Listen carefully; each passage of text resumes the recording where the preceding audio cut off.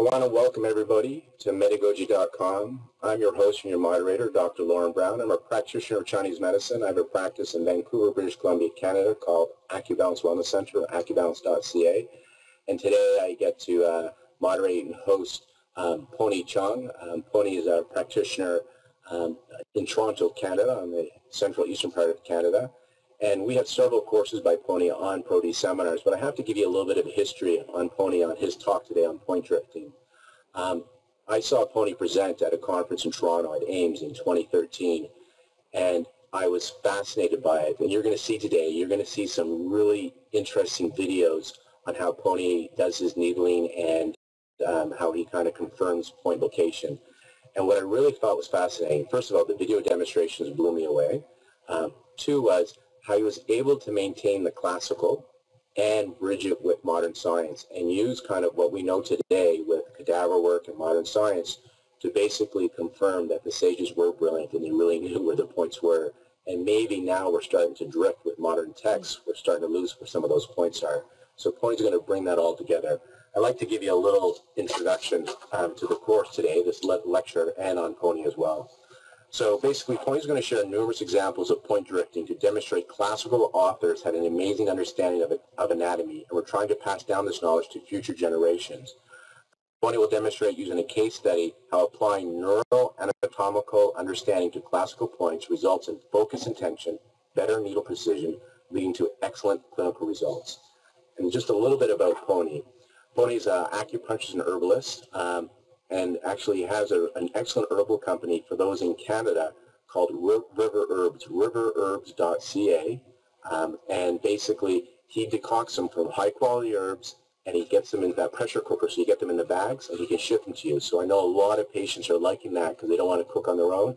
He's able to prepare them from high-quality herbs, get them in a bag, and then ship them off to you. So I just wanted to give that um, well-deserved plug to the Poney because he's not only an excellent acupuncturist, he's an excellent herbalist as well.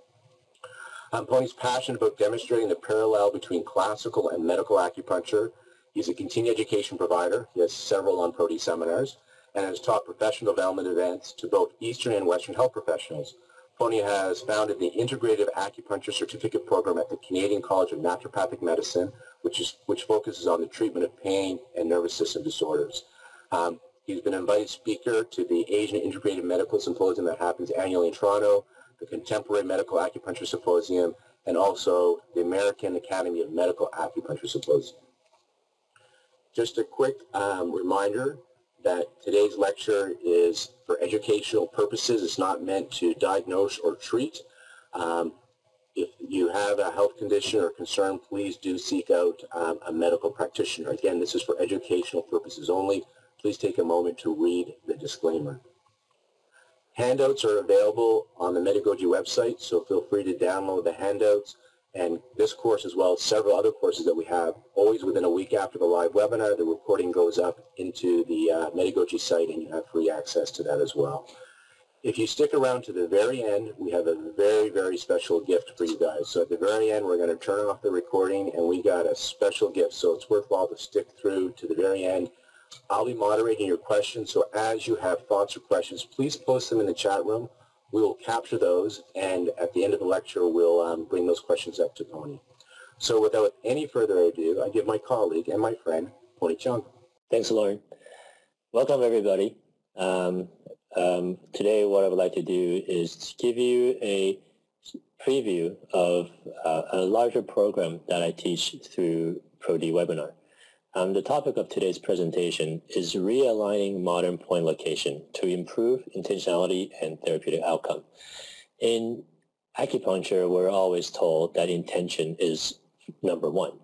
But, um, but uh, when I was a student at least, I wasn't exactly sure what intentionality meant. Um, hopefully when I, after I present this little introductory webinar, you'll have some idea of my interpretations of what international intentionality means, and uh, and from a humble opinion, what the ancient sages uh, meant when they meant precise needling technique and, and having intention behind the needling. Also, the, the title of the presentation is Realigning Modern Points. So what are we realigning it with? Okay. this is the, um, uh, my first slide explains the classical reference that I'm basing this realignment. It's, it's important to to uh, set the set the tone. What is it I mean when I'm talking about realigning? Realigning with what? Okay. Well, what you're seeing here on this slide is the systematic classic acumoxibustion. In Chinese, it's called Zhenjiu Jia Jing, or in the, in the West, it has also been translated as the ABCs of acupuncture. This, this book is available from Blue Poppy in, in English. Now, this book was published by Huangfu Mi. It's approximately the third century.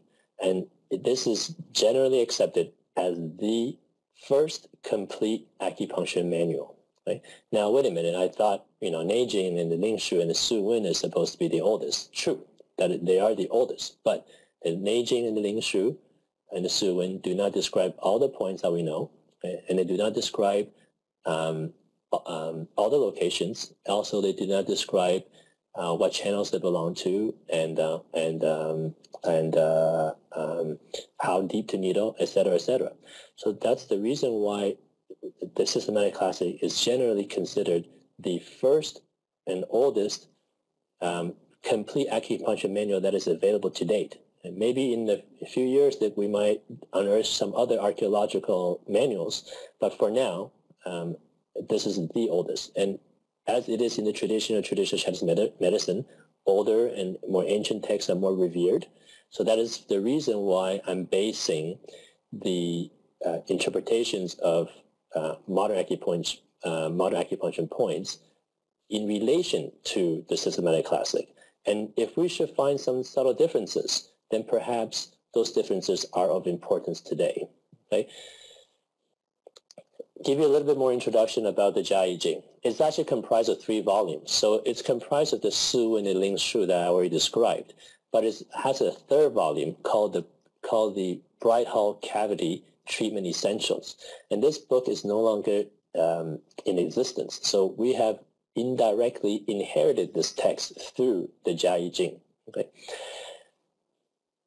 The Jia Jing describes the location of an additional 189 points that are, that are not mentioned in the Neijing and Su Wen combined. Neijing and Su Wen com- describe the location and the existence of 160 points. So in, in, in total, we have um, the uh, the Jia Jing describes 349 because the Jia Jing, as I mentioned, can uh, includes the the Su Wen and the Ling Shu. Okay, so this is the reason why that the Jia Jing is important to um, the practice of uh, classical uh, acupuncture. Uh, if you were to speak to some Japanese lineage practitioners, um, their acupuncture point manual, if you will, is also the Jia Jing. Some of the older traditions like to go back to the the um, locus classicus, if you will, academically is the original location of the of the information. So what I have done in my research is that I've compared. First of all, I translated the the point location of all 349 points from the Jia Jing from the Chinese to the English. Okay. Then what I did was I did some cross-referencing, relying only on peer-reviewed journals, preferably those published within the last 10 years. Why? Because it is the it is the um, it is the uh, point of view of Western medicine that more current research is more relevant, whereas in Chinese medicine, the more ancient classics is more relevant. So I try to respect both. So when it, when it comes to cross-referencing Western medical literature, whenever possible, uh, using sources within the last 10 years. Also, when, whenever information wasn't available, because you would think that anatomy is the open and, open and closed topic, but it's not. There's a lot of information which I still don't know about anatomy. In fact, uh, in my research, I found a lot of anatomy textbooks are actually imprecise. And in those situations, I've actually had to learn how to do some cadaver dissections, and you'll see some very exciting acupuncture point dissection images that I've done. Uh, I'm happy to share those with you. And um, so to make a long story short, basically I look at the location of the classic. I look at what is in, in modern anatomy, whether from peer-reviewed sources or from my own dissections, and try to see what lies deep to the, to the needle tip. What is it that the ancient acupuncturists were possibly trying to stimulate? And, um, and, um, and uh, uh, in doing so, I've quote-unquote decoded um, the targets for the 349 points and um, broken, broken them down into either sensory nerve targets, motor nerve targets or specific muscles or autonomic nerve targets, so on and so forth. Then from there, it was a matter of a lot of testing and experimentation to see if these targets can be um, precisely needled. And uh, because uh, we, uh, we know the anatomy, if it is a sensory nerve target, we expect to feel certain, certain electrical sensation consistent with the dermatome of those points. If it's a motor nerve, then we expect to see a reproducible range of movement as a result of the stimulation of the muscles that are innervated by that motor nerve. We know what the range of motion of certain muscles are, extension, flexion, etc., um, etc. And then finally be able to uh, demonstrate the, this technique by transferring this technique to others to, to show that this is actually a reproducible technique. First one I would like to begin with is to take a look at kidney 3. On the top left corner, we have the location of kidney 3 according to manual acupuncture, so a la Deadman and Al-Khafaji. Um, the location is is uh, is uh, familiar to all of us. It says it's in the depression between the medial malleolus and the Achilles tendon, level with the prominence of the medial malleolus. Now let's take a look at the location described by the Jiayi okay, and the, which is systematic classic. So if you look at my notes over here, what I, where my green arrow is pointing to, I'm pointing to systematic classics. It says that kidney 3 is the earth element point. It's in the depression of the pulsating vessel behind the inner ankle bone, above the heel bone, where the Fushan vessel, etc., etc., etc. Notice that I've um, highlighted in red pulsating vessel. Okay, and the character for the pulsating vessel is over here in Chinese. Dong Mai is moving moving vessel. Okay, so this is information that seemingly has been lost in the modern modern um, uh, inherited version of this point. Okay, now let's take a look at the anatomy of this point and see if we can make sense of what this pulsating vessel could be. In this picture here in the bottom left corner, you're looking, you're looking at the medial aspect of the ankle. Where the green arrow is pointing to is the medial malleolus. And uh, posterior to that, you have a neurovascular bundle called the tibial nerve and tibial artery. Okay, so obviously in red is the, is the artery and in yellow is the nerve. Okay, so kidney 3 we would place it about over here. And evidently, according to the ancient sages, in order to locate kidney 3, one has to feel the pulsating vessel. By feeling the pulsating vessel, in my humble opinion, places you right adjacent to the nerve, which is the posterior tibial artery. And if you, if you just put the needle um, right beside the, the pulsation, you would then fall right on the the um, the trunk of the posterior tibial nerve. Okay. Let's take a look at what happens when we uh, use this level of precision to our needling and then electrically stimulating that. Okay. So for in this um, slide here, I'm going to demonstrate to you what happens when we electric electrically stimulate a needle that has been inserted in kidney 3. Okay. Now in this particular um, picture, uh, I've put the needle in a more um, uh, posterior anterior orientation, um, mainly because it's easier to see on camera. If it was actually perpendicular to the screen, um, as you most people would needle it, it's actually hard to see the needle from the um, from the head of the needle. Okay, so Let's do a little quick anatomy review here. The posterior, posterior tibial nerve innervates that ultimately becomes the medial plantar nerve and the lateral plantar nerve. These are the nerves that, in addition to providing, providing sens sensation to the entire sole of the foot, also provides um, flexion of the toes, of the of the um, of, uh, of, of, all the toes, of, of the intrinsic muscles of the feet. So if you take a look, once we electrically stimulate that, just a second for the video to load, we get a very clean, okay, very, very clean flexion of the intrinsic mu muscles, flexors of the toe. Okay? And this is how it is possible for us to confirm our needle precision. Whether it is you're using this to um, treat a um, rock climber who uses their toes a lot more or a dancer than the average athlete, or you want interesting tonified qi by stimulating kidney 3. this is a nice way to confirm that you really have the right De Qi sensation. In fact, for the right De Qi sensation for this point could be any of the uh, um, neurological um, um, um uh, relevance that I described, such as the electrical feeling or, or, or um, paresthesia in the bottom of the foot, the dermatome, or slight twitching of the big toe, slight twitching of the rest of the toes would confirm that you have the right De sensation for that point. Of course, you can always use this pointer plus device to stimulate it, and then it can show, it can, is a quick way to verify it. Okay, so a quick word about the pointer plus device. The pointer plus device is delivering 10 hertz of electrical stimulation. And um, so in addition to being a, a, device that can be used to locate points, it's, it's actually a treatment device also. And um, so by sending electricity through the tip of the needle, which goes into the posterior tibial nerve, we're able to recruit all its downstream neurological um, deriv derivatives, which are the medial calcaneal nerve, the lateral plantar nerve, and the medial plantar nerve, and all the muscle targets that those nerves, um, and also all the dermatomal targets that those nerves innervate. Let's play that video one more time for everybody to take a look.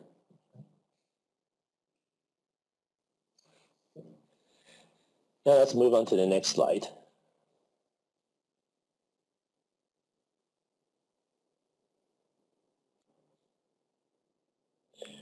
Another, another two points that I would like to take a look at is liver 8 and kidney 10. And um, as you know, um, depending on which acupuncturist you ask and uh, which day of the week, liver eight could be above the knee or below the knee, right? It's one of the points that uh, acupuncturists just can't seem to get along with. Um, this is uh, the modern uh, anatomical location for liver 8 and kidney 10. Um, I won't go into too much detail as we all know where they are, but uh, I thought it would be interesting to compare it with what the, the classic says.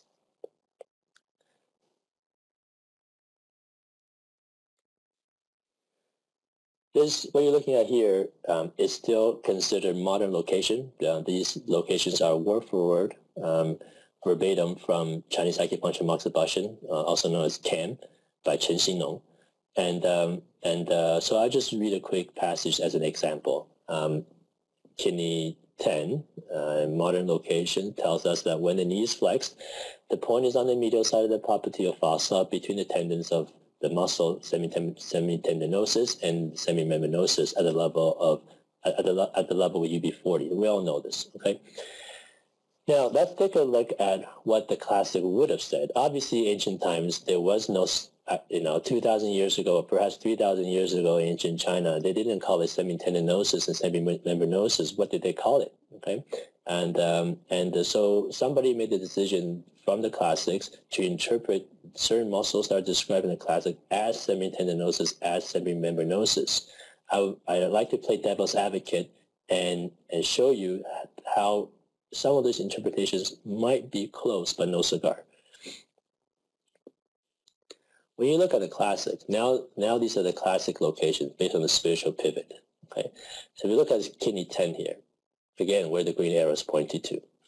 Chapter 2 of the Ling Shu Spiritual Pivot says that kidney 10 is located behind the secondary bone, below the large muscle, above the small muscle, located by pressing, obtained with the knee bend. It's a He point. Okay, so currently no mention of semitendinosus, semimembranosus. All they talk about is a large muscle and small muscle.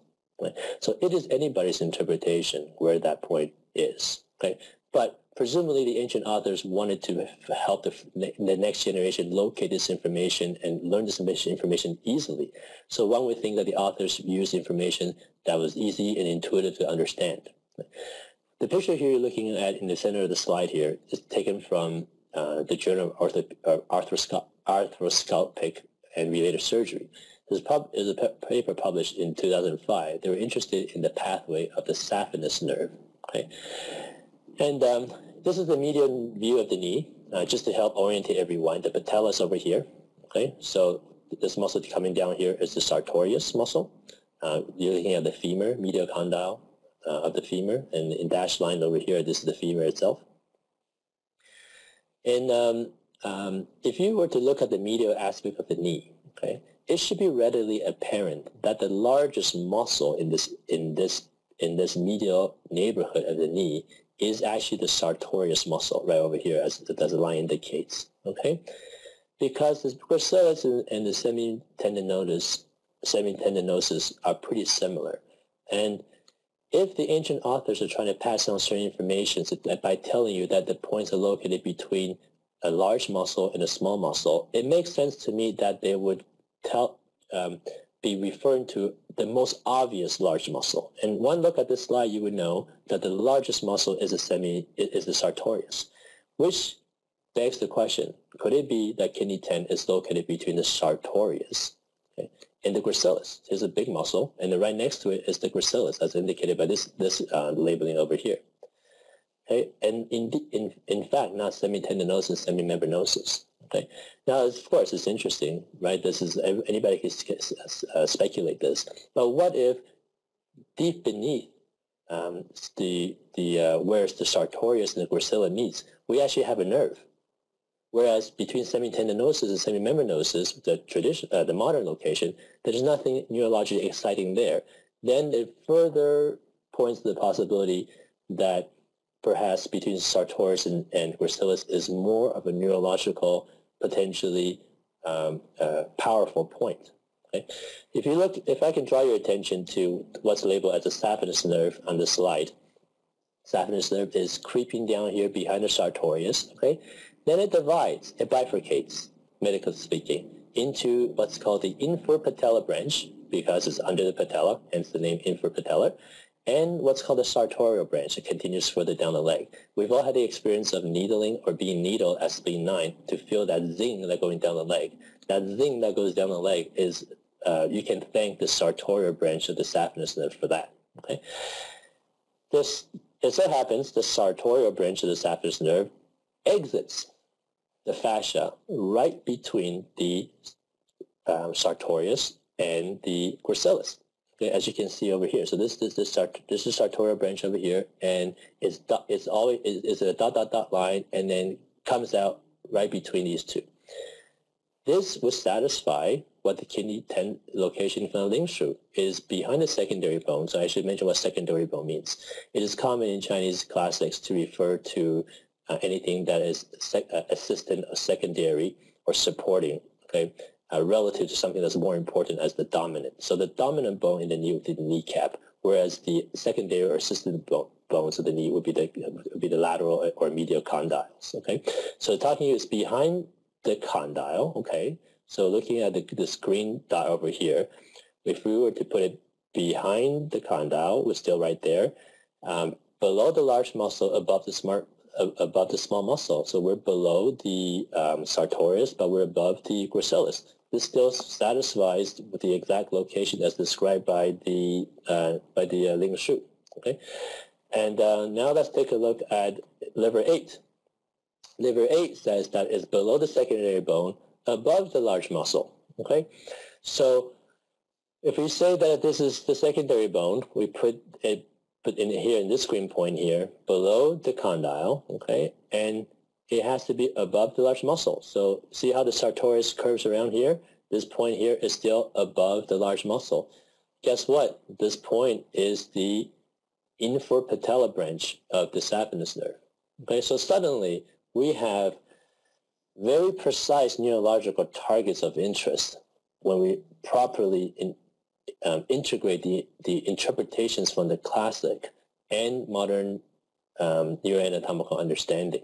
Okay, so just to help answer that question I started, where in the heck is liver 8? Well, if liver 8 is the infrapatellar branch of the saphenous nerve, okay, as long as you are stimulating this branch, okay, you can put it at the joint line, you can put it below, you can put it above, is correct. And that's, I'm sure it's no surprise.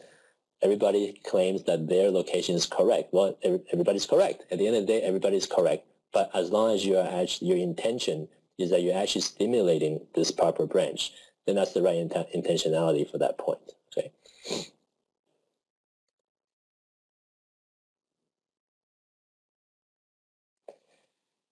Um, these next two slides is just more uh, uh, more detailed explanation of what I just talked about. Okay, so um, along with some anatomical uh, peer review sources and um, and um, also uh, my line of thinking. So I, I won't go into that for too much detail. That I'm going to leave. Um, I'm going to I'm going to leave this to um, to you guys to to read at your own leisure. And this is um, the quote-unquote proof um, of uh, what I said. This is a dissection that I performed um, a year ago. And uh, what you're looking at to help orientate everyone, again, is the medial aspect of the knee. Okay, And, um, and uh, this largest muscle, we already mentioned, is the sartorius. The muscle next to it, the tendon of the muscle next to it is the gracilis. And highlighted in uh, broken dotted lines is where the sartorial branch, okay, uh, sorry, where the saphenous nerve exits the fascia to then go into what's called the sartorial branch or the infrapatellar branch. Okay, so in green, as color coded here, okay, liver 8 here in green, location of liver 8 is the infrapatellar branch, whereas the kidney 10 is where these branches first exit the fascia.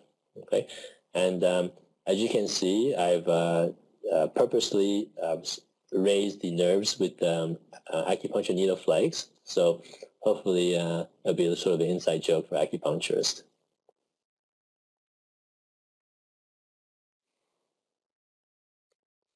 Next one, okay. signs Sinogeal small intestine 13. Okay, let's again always start with the modern locations. Small intestine 13, according to manual acupuncture, is located on the medial extremity of the suprascapular fossa. Okay, so the suprascapular fossa is, is above the spine of the scapula on the medial extremity, okay, also known as the vertebral border about midway between small intestine 10 and the spinous process of the second thoracic vertebrae. Okay, so spinous process and, and um, small intestine 10 about halfway in between. This is the modern location. Now let's see what the um, what the uh, systematic classic does, Okay, the systematic classic makes reference of a pulsating vessel. Okay, so um, unfortunately, we didn't learn in school to, to locate small intestine 13 by palpating a pulsating vessel. This information is sadly lost. Um, I'm not trying to blame any, anybody, but um, it's good to always, um, it's, all, it's you know, it, it is a tradition in Chinese medicine that older is more revered and better. So that's why I think the information for systematic classic is, was worthy of our attention. It says here that the location, the point small intestine 13 is in the depression at the center of the bend of the shoulder blade where a pulsating vessel is felt by pressing. Okay, so what could possibly be the center of the bend of the shoulder blade? If you look at this picture here on the bottom right, there's an angle over here where the spine of the scapula meets the vertebral, vertebral border. This is still this is the angle here. I don't know the anatomical name for this angle, but this to me satisfies the the um, the, the terminology here is at the bend, at, at, the center of the bend of the shoulder blade, where there's a pulsating vessel. Okay, the the nearest pulsating vessel that we can have that satisfies this bend of the shoulder blade is another neurovascular bundle called the dorsal scapular nerve and artery. And um, what the dorsal scapular nerve and artery innervates are the rhomboids, minor and major. Okay? So it would appear that small intestine 13 is not on the scapula. It's medial and off the scapula at the bend of the scapula where a pulsating vessel could be felt. Uh, so I'm thinking that this is actually um, ancients knew about this this nerve and was trying to stimulate the nerves that innervate the rhomboids, in this case, the dorsal scapular nerve.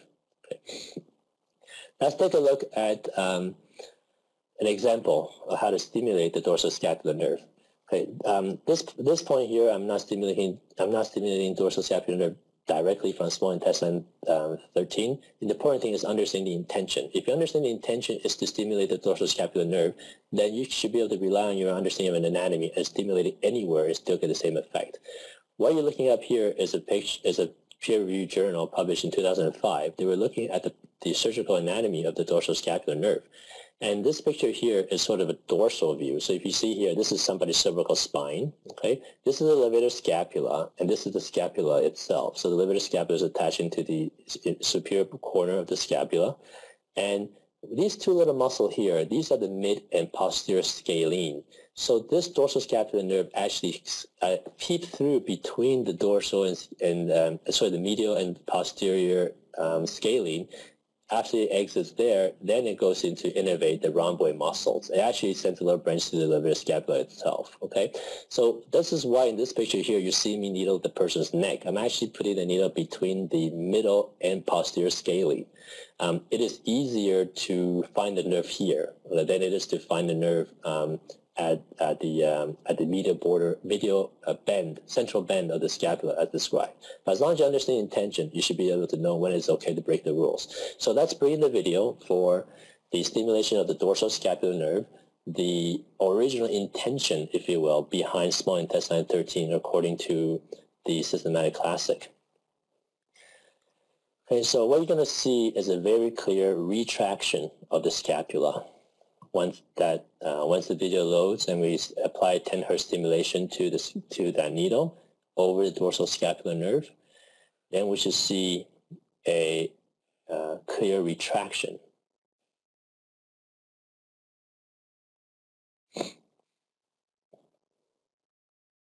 There we go. So the entire scapula is moving moving towards the midline. Um, seems to me the video is um, um, not not playing very smoothly. Okay, but um, we'll give it a couple more times. There you go. You can see that the entire scapula is moving towards the midline. Play that again. There you go. Okay, so example of how to reconcile anatomy and classical point locations to enhance one's intention. Let's move on to the next point.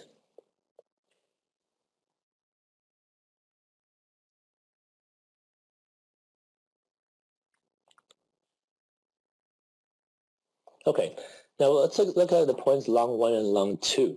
Okay, according to modern point location, and by modern I mean either CAM, uh, Cheng Xinnong, or Manual of Acupuncture, Deadman and Al-Khafaji, long 1 location is as follows. It is located on the lateral aspect of the chest in the first intercostal space, 6 cun lateral to the midline. Long 2 is approximately 1 cun um, uh, inferior and lateral. Uh, sorry, long, long 1 is approximately uh, 1 cun inferior and lateral to long 2. Okay? No mention of any type of pulsating vessel that we're going to see described from the classics. Okay, so Without going into too much detail, okay, systematic classic says that for long two, this point is, lo is located below the great bone, which is this case of the clavicle in the depression two some um, beside stomach 13, where a pulsating vessel is felt. Okay, so again, long one, they, again, they talk about a pulsating vessel. Okay, so these are in red here, the Chinese character for the pulsating vessel.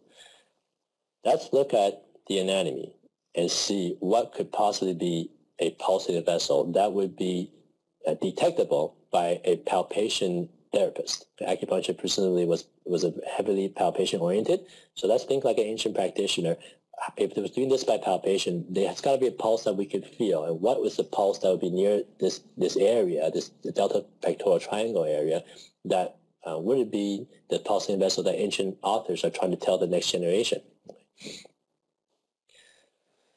If you take a look at the picture here on the bottom right, it's a very, very exciting paper. It just came out in 2012. Okay, they were trying to, they were trying. This is actually a paper trying to understand um, the sense, the nerves that are um, uh, around the chest because um, uh, uh, people that do breast-related surgeries, either mastectomy or breast augmentations, um, don't want to accidentally cut nerves that, that can result in pain and, and paresthesia um, for, for, the, for the patient. So there was a need to really understand the neuroanatomy of this area. And uh, what you can see in this picture here okay, is, uh, first of all, these pictures are actually based on uh, that cadaver drawing, cadavers uh, photos, and then they, they took an artist to draw from the photo itself. So these are actually correct drawings, not some artist um, artistic uh, uh, rendition. The, the pulsation that is in this neighborhood um, okay, the pulsatiness in this neighborhood is the axillary artery. So it's actually just the same thing as the subclavian artery. Subclavian artery on the other side of the clavicle is called subclavian. Once below the the the, um, the clavicle is called axillary artery.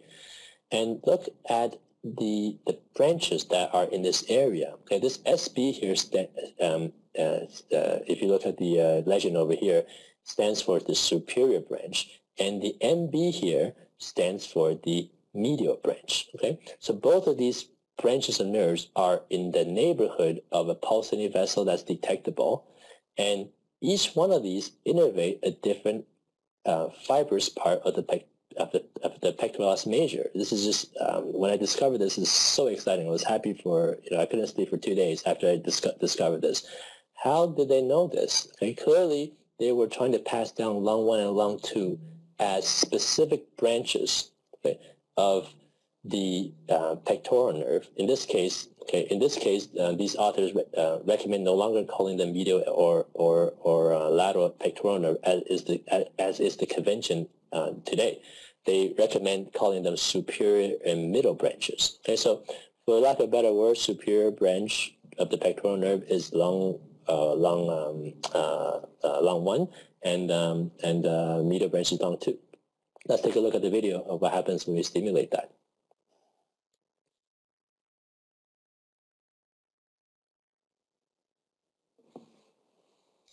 Okay, so two points, needle exactly in long 1 and long 2 location. And what I'd like you to do is to try to direct your attention to the way that it is moving the, uh, the, uh, uh, um, the chest, okay? You'll be able to see that it moves the, the chest in different directions.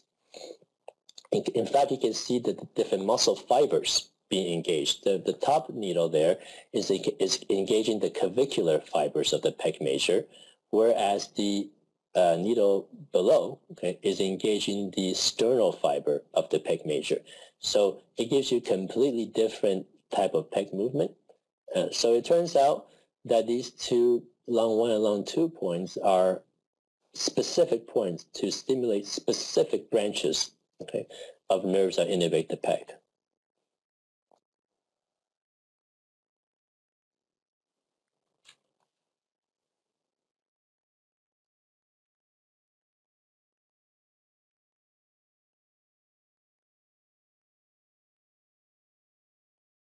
Okay, just play this one more time and then we'll move on to the next slide. So hopefully I'm starting to paint an idea that palpation is important and this is down from the classics. unfortunately, some of the palpation information about pulsations is lost. Okay, and um, and and um, and um, um, by understanding the anatomy, it helps to actually improve our intentionality. Uh, I, I think, in fact, ancient acupuncture were master anatomists. Okay, let's move on to the next slide, please.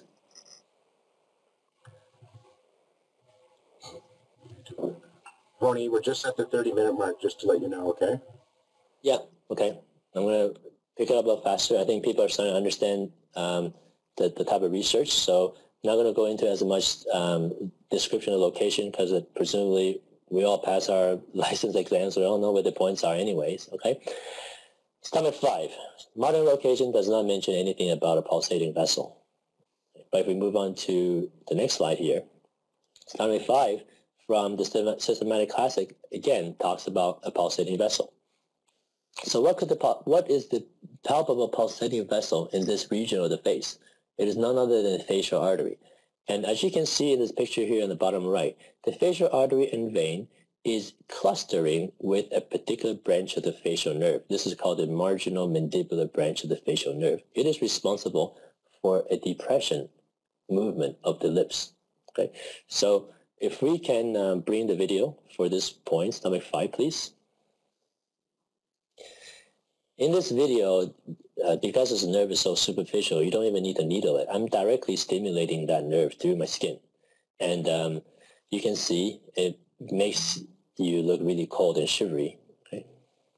Because it's, it's engaging that part of the facial nerve that is responsible for pulling down the lower corner. So somebody has Bell's palsy or facial nerve palsy and has a drooping or cannot keep air in the lips, that's because this particular branch of the facial nerve has been affected.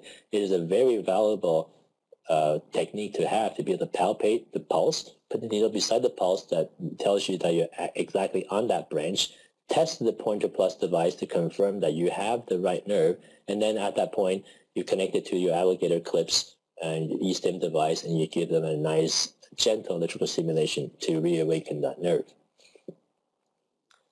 Okay, one more time and move on. Okay, next slide, please.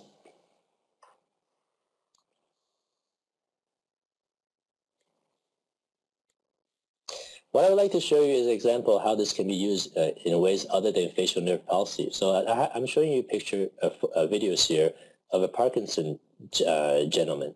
And uh, as you know, Parkinson is a, a tremor-related neurological condition and usually affects the gait, okay, affects the neck and stuff. But in this particular gentleman, it's affecting his lips. And so um, I was treating various scalp acupuncture techniques and getting, getting pretty good results, okay? But I wasn't able to get rid of this, this aspect. So I, so I, so I remember, oh, you know what, maybe I can try stomach 5. According to my interpretation of stomach 5 is the marginal mandibular branch. That is the nerve that's responsible for this. Maybe if I stimulate that, I can create some kind of central effect through peripheral stimulation, and we'll see what happens, right? Nothing to lose. So if I can bring the videos here to show the before and after. So what we're seeing here is the before video capture before the treatment and after as in immediately after that that treatment. So 30 minutes after that treatment. So very noticeable. Um, the video's on a loop, okay? It's very noticeable um, kind of a gyration and pulsation in this area. Okay, it's just shaking. Okay, that's not the hand shaking uh, the, of the camera hand shaking. That's the actual person's skin shaking. Right? And so I put a needle in there, electrically stimulated it um, by hooking up to an E-stim device. Okay? And then right after treatment, it, it really calmed down. Uh, let's have the next video, please. Now, of course, this is not a, it's not a sustained, it's not a sustained result. Okay, um, more, more, more treatments are needed, combining with what you know about uh, scalp acupuncture and so on. But it's very good for building patients' confidence that they are actually able to get a immediate noticeable change. So the video is playing, okay?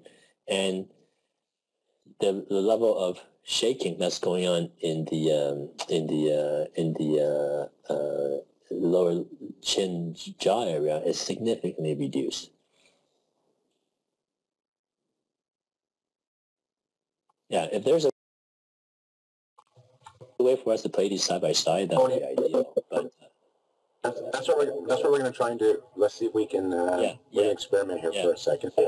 Yeah. Again, thanks for putting this all together, Poney. Because I love the videos and just this is what I fell in love with your teaching when I saw you teach. When you brought this, I was just like, wow, this is amazing. And I'll remind everybody that Poney does have communication courses on ProD, so this stuff's amazing. So on the bottom is um, is, uh, is is the before acupuncture treatment, very noticeable shaking, right? And then the the top one here, um, slowly, okay.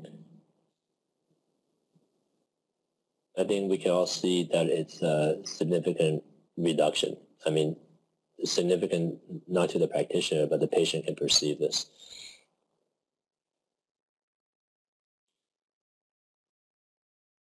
Okay.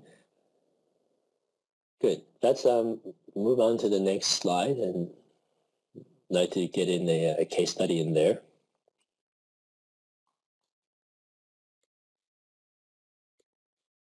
Okay. Uh, one more point. Uh, Sanjiao 10. Uh, Sanjiao 10, um, we modern books located behind the olecranon. So I'm going to just direct your attention to the very bottom of the slide here. This is the fundamental Chinese acupuncture. That's the um, that's from uh, Alison Wiseman, but they translated from the Shanghai text. And uh, and uh, so that location is all familiar with to us. When the elbows flex, the points is the depression about one cent superior to olecranon. Okay, well obviously ancient times they didn't call it the olecranon. What did they call it? Let's go back to the spiritual pivot. They says that spiritual pivot, Sanjiao 10, is in a depression above the big bone outside the elbow. Wait a minute they're talking about a structure called the big bone that is outside the elbow. So if the elbow is the olecranon, then what the heck is the big bone? They're talking about two different bones. Right? That's information that is lost. All we have is just that it's behind the behind the big bone. Sorry, all I have is behind the olecranon. Is the elec is the olecranon interpreted as the elbow or is the olecranon interpreted as the big bone? Because they are these are clearly different structures because one is outside the other. Okay? So that's um, that's the see what over the generations uh, how this information had been drifting. In the systematic classic, the only difference between the systematic classic and the spiritual pivot in the 300 years is that they added the information of one cun behind the big bone. So we can see how this one cun would have been passed down to the current generation to retain this one certain information. Okay, but still does not answer the question: what's the difference between the big bone and and the elbow? Okay, well again, think in terms of a, a palpation-based practitioner. If the elbow is a olecranon, what would be a bony structure that's lateral to lateral to the, lateral to the elbow that would have been palpable? It shouldn't be too hard to imagine that is most likely the lateral, epicond, uh, uh, lateral epicondyle. So if that assumption is correct, then the systematic classic in this spiritual pivot is actually saying Sanjiao 10 is one cun behind the lateral epicondyle, not one cun superior or behind the olecranon. Okay, now let's see what the anatomy says. Okay, it's all fun and interesting to speculate, but at the end of the day, what does the anatomy, what does the actual human body tell us? This picture on the bottom right here is a paper, paper published 2006, and these surgeons were interested in finding out exactly where a very specific nerve called the lateral antebrachial cutaneous nerve. Okay, the sorry, my apologies, uh, the posterior antebrachial cutaneous nerve. They're interested in where this posterior antebrachial cutaneous nerve runs. The posterior antebrachial cutaneous innervates the middle aspect of the dorsum of the forearm. So in the dermatome region that most acupuncturists would agree is the Sanjiao um, uh, territory. Okay. If you look at this picture on the bottom right, you see here, this is a lateral view of the elbow. This is the lateral malleolus, sorry, lateral epicondyle, and this over here is the olecranon. These authors show very clearly that the PABCN, which stands for posterior antebrachial cutaneous nerve, exits the fascia above the lateral epicondyle, if you take the location one cun above the lateral epicondyle, or the large bone that is lateral to the elbow, according to the classics, you are bang on the posterior antebrachial cutaneous nerve. And isn't it convenient for us that the lateral antebrachial cutaneous nerve innervates the dermatome that exactly satisfies Sanjiao territory. So now we have not just the idea that the interpoints are innervated and uh, trans, uh, drifted, but we can actually demonstrate that the prior, pre-drifted location actually has neurological relevance. In the case here, the posterior antebrachial cutaneous nerve, and it actually is a cutaneous nerve that innervates what we call the Sanjiao in the arm. So this is very, very convincing evidence that the ancient sages really were master anatomists. Okay. I'd like to finish up with um, this one here. Um, if you look at the picture on the top left side of the, of the, cor uh, top left corner of the slide, you see points Sanjiao 5, 6, 7, 8. And now if I can direct your attention to the color photo on the bottom right here, we see a few very pretty colorful muscles, you know, in purple, yellow, green, and red. I ask the question, is it possible that when the ancients passed down the points Sanjiao 6, 7, 5, 6, 7, 8, that they were actually trying to hint to us that these are the muscles to stimulate? Now, I implore you not to try to make sense of where you have learned the point with these anatomical pictures that I put up here.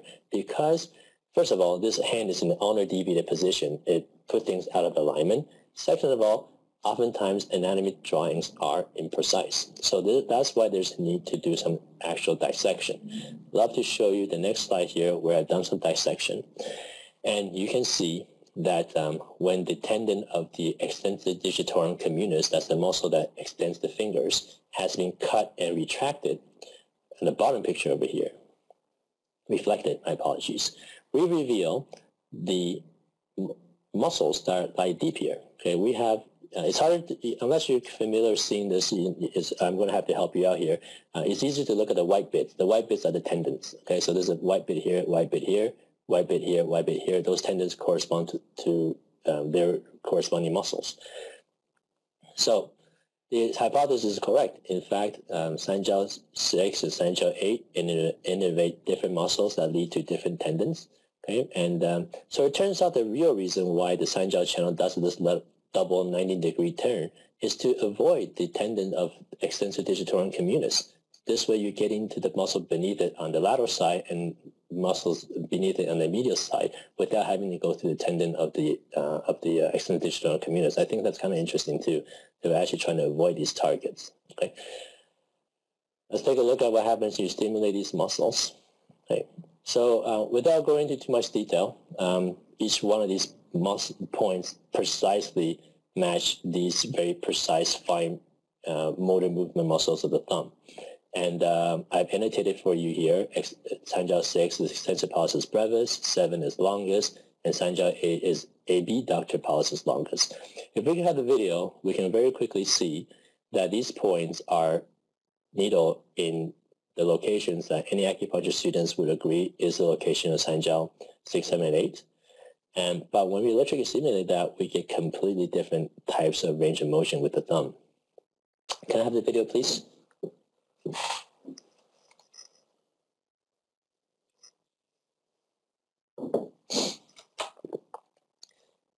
Okay, so when we stimulate it, now looking at Sanjiao 8 here, just don't worry about what the points are right now. Just look at the way the thumb is moving. This one, the thumb is moving to inside towards the screen. Okay, is moving towards the screen. Then we have this needle here. What it's doing is that is is moving toward us, outside of, out of the screen. Okay. And the next one here, Sanjiao 6, is going to be moving to the left. Oh, sorry, the video has uh, has looped, so we, we skipped over Sanjiao 6, but it'll come back. So this one here is 8 is going to the, into the screen. 7 is going towards us, outside, out of the screen. Okay, and the 6 should be going to the left. There it is. Okay, you see it moving towards the left. Okay, so it is pretty clear that the intention behind these points, Sanjiao 6, 7, 8, is very specific muscle targets. And unless you're aware of the anatomy, there's very good chance for, that you're going to miss these targets because these muscles are pretty, even when students know that they're supposed to hit these muscles, they still need to learn the palpation skills and, and the skills of, of, precision and checking to know that actually these muscles. Okay. So move on to the next slide.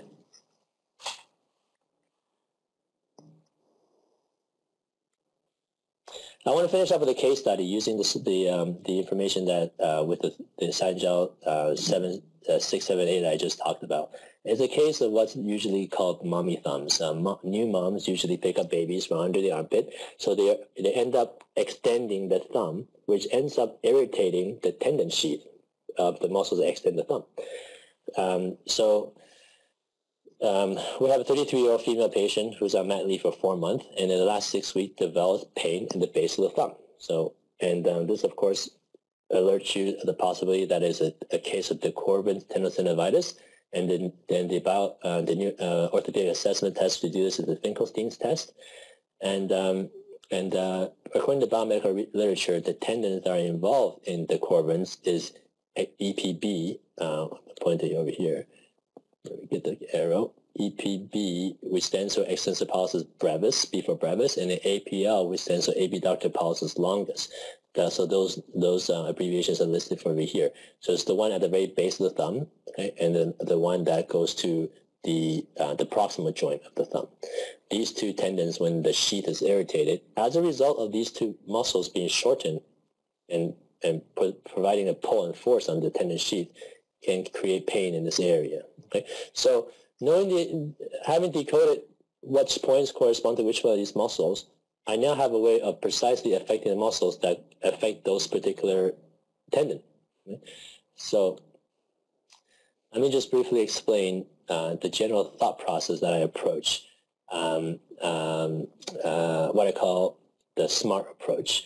And SMART is basically an acronym to help you remember what points to do. Okay, so S stands for sensory, M for motor, A for autonomic, R for radiculopathy, and T for trigger. Okay, so let's talk about trigger first. This is where usually somebody, um, the source of the pain. Remember, trigger points refer pain, or what we call Ashi points. But where the pain, where the location of the referral is usually not the place of the pain. In this case here, somebody has pain in the tendon sheath below the thumb, but that's not the origin of that pain. The origin of that pain is the muscles higher up, higher up in the wrist that contribute to those tendons. So what's that? What's what I mean by trigger or local? The local point is understanding what are the muscles. In this case, here is EPB and, and APL. Now, we have to choose some sensory points. It is a tradition in Chinese medicine, um, especially Chinese style acupuncture, to use distal points. I usually use a a sensory nerve that is a derivative of this the nerve that innervates the, the local muscle.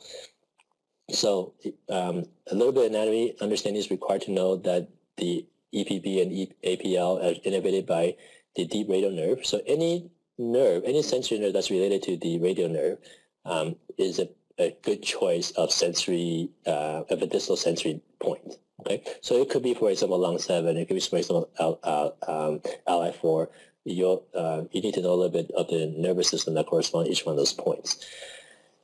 Chinese medicine style, Chinese style acupuncture always also like to talk about treating above and below. So the way I've interpreted that is that I below I usually choose a sensory nerve target, whereas above I usually choose a motor nerve target.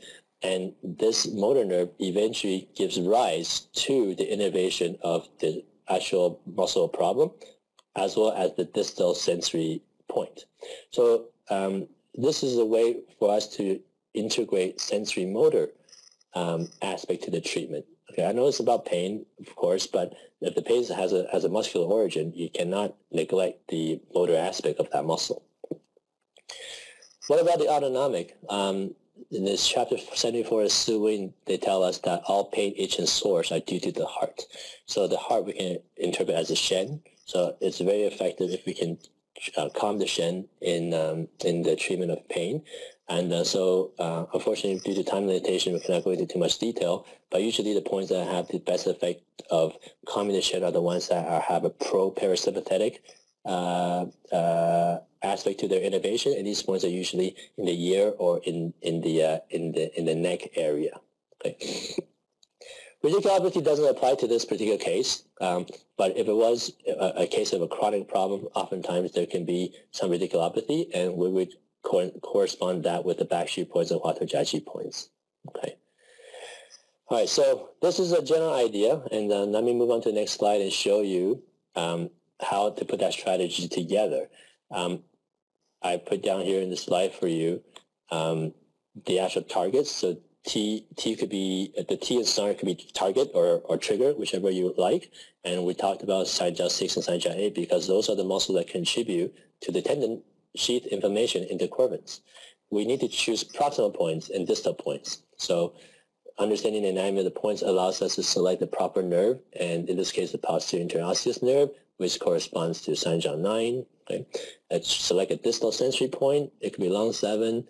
And um, in this case, is the superior branch of the radial nerve is related to the deep radial nerve, also known, known as the posterior interosseous nerve. So this is an example. I know it's, I know it's a lot of anatomy and understanding, but it actually is re- reconciliating the use of above and below um, distal points, um, point understanding. Okay. And I want to finish up with an example of, a, of an actual treatment. Uh, we have a video for this one if we could um, pull up this video.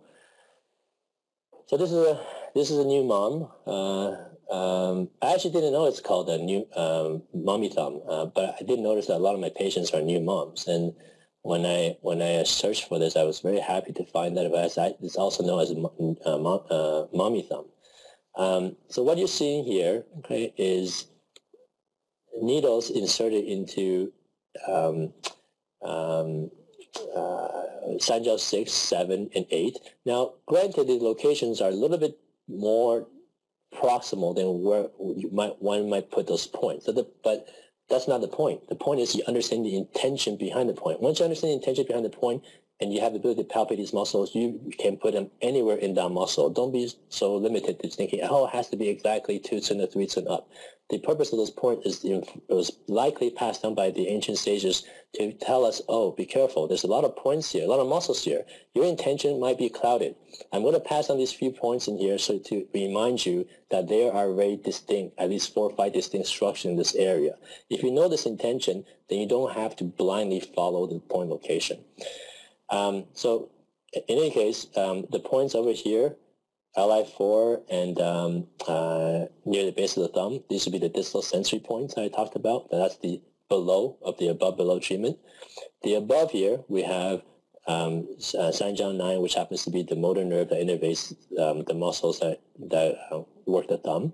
Okay, so we satisfy above and below. We have sensory inter motor integration we have local treatments, okay, and we satisfy east and west at the same time using proper intentionality, using very classical point location as opposed to modern point location. So thank you very much for your attention. Uh, sorry for uh, taking a little bit longer than I thought. I get when I get excited, I talk too much. So I'll shut up now, and um, and um, I'll be happy to uh, to uh, take any questions. Thank you very, very much, Poney. That was wonderful. Um, I love this, and it makes me excited to get into your courses that you have online. I will remind you, and stick around, guys, because I'm going to pause the recording in a moment just before questions to let you know about a special gift for everybody. Um, but just to remind you, Poney Chiang has three online courses.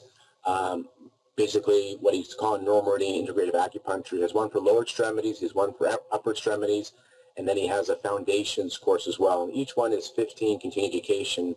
So you got an hour, and he's got, um, or there's one for 15, one for 13, one for 15. So what do we got? We got another uh, 43 hours of great material. So Poney, thank you very much.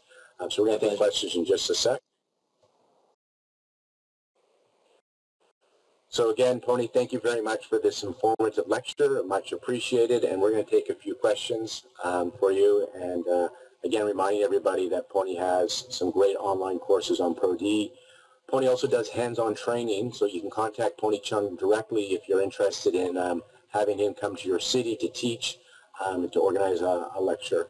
So Poney, first question is, how close to the nerve trunk are we aiming for in needling? Okay.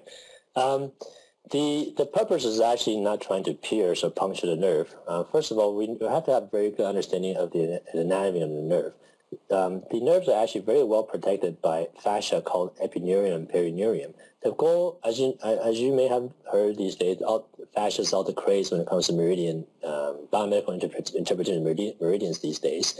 Um, by stimulating the fascia around the nerve is sufficient to cause a mechanical transduction that fires the nerve. We don't actually have to be hitting the nerve itself in order to create the effect. So hope that answers your question. Close enough, but we just what we want is the paresthesia or, or dirty electrical sensation, you don't actually have to hit the nerve in order to get that sensation. Um, Lorne, should I just go to read along these questions? Answer the next one. Yeah, but let's read. Okay. Them. What kind of? Yeah, let's read them. Okay. Next question is, what kind of stimulator are you using? Okay, so this is called a Pointer Plus device. Uh, there are a few various uh, versions available. Uh, so there's sort of like the um, the uh, the uh, the basic version and the deluxe versions. Uh, all it is is a, is a combination of a point finder and a device to deliver electrons at 10 hertz. Right? And uh, and uh, oftentimes people will give themselves a treatment directly. Uh, this for, for laymen use this device to find points and then uh, and, and give themselves electrical therapy. I'm just using this device not for finding points, but for delivering electricity to confirm the location of points either by electrical sensation consistent with the dermatome, if it happens to be a sensory nerve, or reproducible range of motion if it happens to be a mus- uh, motor nerve target. This is how I, how I call confirming, confirming and checking your De Qi is actually correct. Next question. The point that we are going over mentioned near the pulsating blood vessel as part of the point location. Do you see this with many points? I remember in Camden you mentioned nerve innervation, but not in the way it's seen explained here. Uh, yes, I, I, I, uh, I see uh, a lot of references of pulsation, pulsating vessels, and And uh, if I can generalize, every time I see um, the pulsation vessel, it's a neurovascular bundle. So a nerve is right adjacent to it. Okay, and uh, so it um, and uh, it's uh, yes, it is different from what is seen in the in the CAM uh, because um, first of all, there are actually a lot of errors in CAM. Uh, uh, and, I, and, what I mean is that the, the Western innervations. Uh, if you look at my liver 8 and kidney 10 slides, they talk about kidney 10 as being um, um, medial femoral cutaneous. Medial, if you just think about where kidney 10 is located, even if it's the traditional, loca- uh, the modern location, it's way in the back of the, of the knee. It's no longer near the medial femoral cutaneous zone. So even if the co- location was correct, given the benefit of the doubt, the Western anatomy nerve that goes is, is wrong. Not to mention if the interpretation of the classic point is wrong to begin with, then there's no chance um, for you to reconcile the proper anatomy locations. Okay. Uh, next question. Uh, most of the point locations are located along at a point where we might be going into nerve or pulsing vessel. Is there a risk of nerve damage and hematoma? I think I already answered that question. The purpose is not to go into the nerve. It just goes close enough into the fascia uh, in order to cause electrical stimulation, uh, either manually um, or electrically. Um, the, uh, if you have proper uh, palpation skills, you will be able to feel the pulsation. And uh, I generally teach students to occlude the pulse by putting your thumb on the pulse. There, this way, uh, unless you want to needle directly through your thumb, there's no way you can accidentally needle that vessel anymore. We take the, the vessel out of play, so to speak. So to answer your question, no, there's no chance of hematoma. Poney, again, thank you very much. Everybody, thank you for your questions. We had a great group out. Again, I want to remind you that Poney has online courses for upper extremities, lower extremities, and the foundations. I know we'll be doing more with ProD online and in person. And again, Poney, I just love the research you've done. I love how you you brought this together, and um, your courses are rich. So I know if anybody's going to register for these, you know, you've got lots of time to uh, review the material and really bring this into your practice. So again, thank you very much. My pleasure. Thank you for the opportunity, Lorne. Great. We'll see you again soon. And thank you guys, everybody. Enjoy the rest of your week.